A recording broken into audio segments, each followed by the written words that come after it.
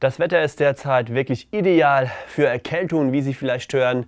Zunächst letzte Woche teilweise sommerliche Werte bis 27, örtliche 28 Grad, dann am Wochenende viel Nebel, stellenweise Temperaturen um 10 Grad kälter als zuletzt und diese Woche insgesamt wieder sehr wechselhaft. Damit herzlich willkommen zum Wetter von wetter.net. Der Montagmorgen, der ist vor allen Dingen im Westen schon ordentlich laut gestartet. Stellenweise gab es starke Regengüsse mit Blitz und Donner und die sind weitergezogen ins Landesinnere. Daher heute Nachmittag auch in der Mitte und Richtung Osten immer wieder einzelne Schauer, teilweise auch mit Blitz und Donner. Nach Süden hin, da lockern die Wolken im Alpenrand stellenweise auf. Hier auch am wärmsten mit Temperaturen zwischen 21 und 22 Grad. Und auch Richtung Lausitz werden 23 Grad erreicht. Im Westen dagegen etwas kühler, hier maximal 19 bis 20, beziehungsweise an den Küsten 15 bis 17 Grad. Die kommende Nacht, die bringt vor allen Dingen im Westen Abkühlung. Entlang des Rheins stellenweise nur einstellige Werte zwischen 8 und 9 Grad.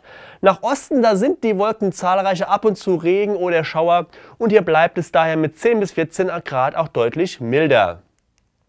Die kommenden Tage, die bringen insgesamt sehr wechselhaftes Herbstwetter. Es gibt immer wieder Regen und nur selten kann die Sonne mal längere Zeit scheinen. Am Dienstag insgesamt vor allen Dingen hier im Norden immer wieder Schauer, in der Mitte und im Süden ab und zu auch mal etwas freundlicher, aber auch hier besteht die Gefahr, dass sich den ganzen Tag Nebel hält. Die Temperaturen maximal 20 Grad, auch am Mittwoch 14 bis 20 Grad, dazu ein Gemisch aus Sonne und Wolken und vor allen Dingen Richtung Mecklenburg-Vorpommern, aber auch hier Richtung Oberrhein immer wieder einzelne Regengüsse. Und auch der Donnerstag bleibt insgesamt sehr wechselhaft und nass, vor allen Dingen dann in der Osthälfte. Und die Temperaturen, ja, die gehen mit 13 bis 18 Grad noch etwas zurück.